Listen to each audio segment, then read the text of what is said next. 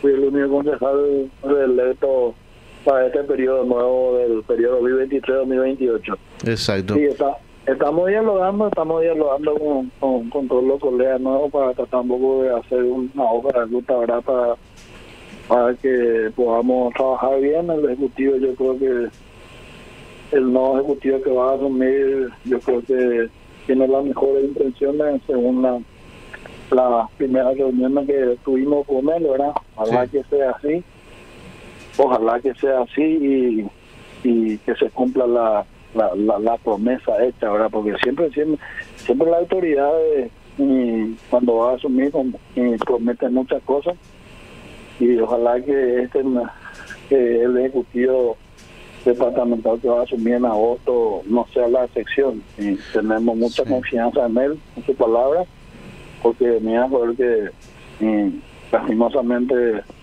se puede hacer miles de cosas más a la gobernación de, de la época de, de, que se creó la gobernación. Yo creo que tenemos tenemos el gran inconveniente, uno, uno de los inconvenientes que es la eh, muchas veces la corrupción lo debido de fondo, por eso ya tuvimos tres gobernadores en este periodo. Y también el flagelo principal de la gobernación del Guairá, que es el planillerismo. El Ejecutivo Departamental hizo una promesa que va a limpiar con el planillerismo, ojalá que eso sea, porque sí. que según, según los, según los, los lo que lo que concierne a mi persona, en particular como presidente de la Junta Departamental, hace hace tres, cuatro años que estamos, como concejal estoy haciendo esta denuncia y como presidente de la Junta hace rato que hicimos ya la denuncia en todos los ámbitos y los entes correspondientes, hasta hoy no tuvimos respuesta.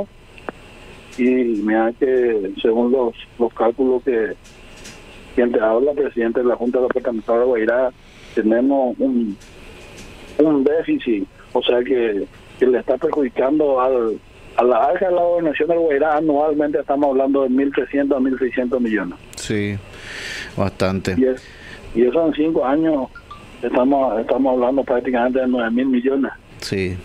Una suma considerable que imagínate si esa, esa suma invertir en educación, el, en la, el almuerzo escolar que falta todo, que son solamente viene para 70 días, puede paliar demasiado muchas cosas eliminando el planillerismo. Ojalá que, ojalá que esto suceda, eh, Dios quiera que sea así, porque es la promesa que hizo el Ejecutivo el nuevo gobernador que va a asumir en agosto.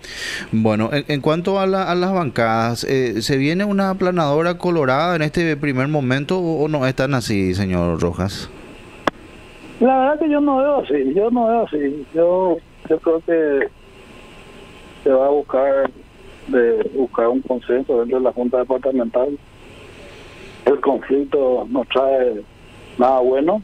Yo creo que hay, hay gente de Añetete que entraron, hay gente de Condado Colorado, su mayoría, pero yo creo que va a haber un equilibrio, nosotros somos cinco de la bancada PLRA, pero vamos, vamos a buscar siempre el equilibrio ahí dentro de la Junta Departamental para que se hagan bien las cosas.